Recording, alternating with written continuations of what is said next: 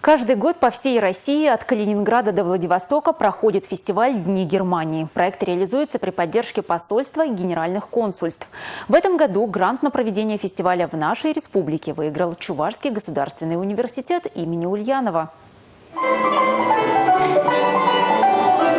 Чем, как не музыка из произведения известного писателя и композитора Эрнста Гофмана может открыться фестиваль немецкого языка? Она помогает студентам и всем участникам проекта познакомиться с культурой другого народа. Сегодня вот принимать на площадке университета э, Дни Германии, Дни немецкого языка и культуры очень почетная и ответственная. Я думаю, что эта программа, которая сегодня реализуется, она очень интересна э, не только для студентов, но и для молодежи вообще. И уверен, что ребята, которые придут на эти мероприятия, пройдут эти дни с большим интересом и с большой пользой.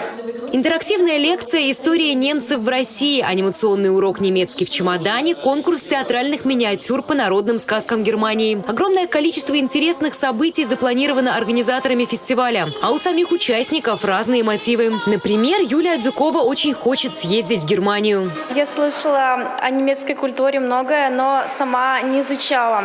А, поэтому мне хочется побольше узнать, побольше изучить эту страну. Для тех, кто, как и Юлия, интересуется интересуется учебой в Германии, презентация стипендиальных программ Германской службы академических обменов. Здесь можно будет узнать о предложениях немецких вузов, образовательных программах и языковых школах. Фестиваль продлится до 24 апреля. Юлия Важенина, Борис Андреев, Республика.